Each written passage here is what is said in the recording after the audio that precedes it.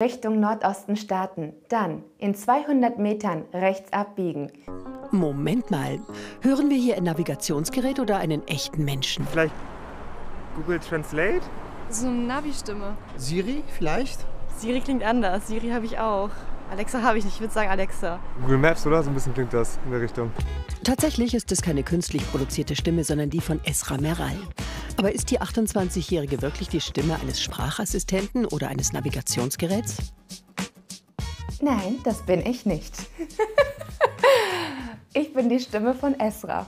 Das sage ich auch ganz oft und es wird wirklich so oft nachgefragt. Bist du die Stimme von Siri? Bist du die Stimme von Google Translate? Ich kann es einfach nur sehr gut nachmachen. Hier einmal zum Vergleich. So klingt die echte Google Maps Stimme. Nach 600 Metern rechts auf die Auffahrt nach A8 Stuttgart abbiegen. Mit ihrer Stimme hat Esra, die in Baden-Württemberg wohnt, es innerhalb von nur einem Jahr zu einer kleinen Berühmtheit auf TikTok geschafft. Die Videos der 28-Jährigen werden von Hunderttausenden gesehen. Und auch weil Esra sich selbst nicht immer so ernst nimmt, sind ihre Clips so erfolgreich.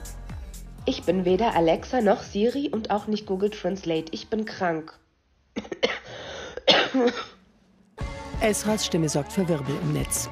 Während einige TikTok-User ihre Stimmvideos für Fake halten, bekommt sie auf der anderen Seite zig Anfragen, personalisierte Mailbox-Ansagen oder Geburtstagsgrüße einzusprechen.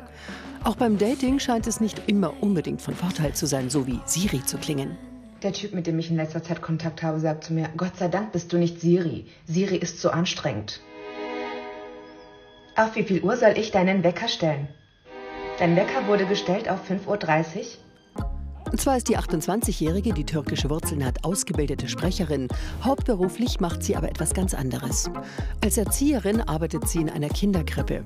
Kollegin und Freundin Anne, die Esra damals zu TikTok überredet, sagt über Esras Stimme.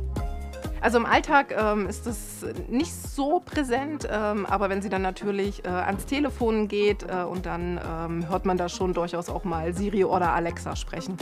Aber wie genau macht Esra das eigentlich mit ihrer Stimmverwandlung? Das ist jetzt meine richtige Stimme. Und wenn ich dann diesen Sprachassistenten mache, dann gehe ich wirklich so, wie soll ich sagen, in meinen Kehlkopf rein und rede dann so. Das klingt dann wie ein Sprachassistent. Auch für Werbung oder Sprachaufnahmen wird Esra von Unternehmen gebucht. Dafür ist sie kreativ geworden und hat sich zu Hause ein kleines Tonstudio gebaut. Das ist meine Kammer des Sprechens. Das ist eine Konstruktion aus Eckkleiderschrank und Studio. Ähm, ich habe das letztes Jahr selber zusammengestellt, ausgekleidet mit Schaumstoff und hier drin nehme ich auf. Sprachaufträge und Social-Media-Videos sind ein guter Nebenverdienst für die 28-Jährige. Für eine personalisierte Sprachnachricht nimmt die Erzieherin 5 bis 10 Euro. Aber ist sie durch ihre viralen Clips dank ihrer Stimme jetzt reich geworden? Nein, auf jeden Fall nicht. Also viele denken wirklich, dass man dadurch echt gut leben kann, aber so ist das nicht. Ähm, mit viralen Videos könnte ich mir vielleicht ein Menü bei McDonald's leisten. Nicht nur für Siri, Alexa und Google wird Esras Stimme oft gehalten. Viele verwechseln sie auch mit der deutschen Stimme von Tokio aus der Serie Haus des Geldes. Ich heiße Tokio. Das heißt, als diese Geschichte anfing, hieß ich noch nicht so. Ich versuche es auch immer zu erklären, dann sage ich, ich bin nicht die Stimme von Tokio. Und viele schreiben dann, es klingt aber ähnlich. Über eine Vermutung musste Esra ganz besonders schmunzeln. Ich wurde mal gefragt, ob ich, ein, ob ich die Stimme vom Brotbackautomaten aus einem Discounter bin. Und das war so einer der kreativsten Fragen. Bitte warten Sie ein paar Sekunden. Ihre Bestellung wird frisch für Sie zu. Alter, gehst du gerade ohne Handschuhe hier rein? Benutzt sofort die Zange. Esras Traum ist es, irgendwann einmal hauptberuflich als Sprecherin zu arbeiten. Und vielleicht wird sie ja dann wirklich die Stimme eines Sprachassistenten.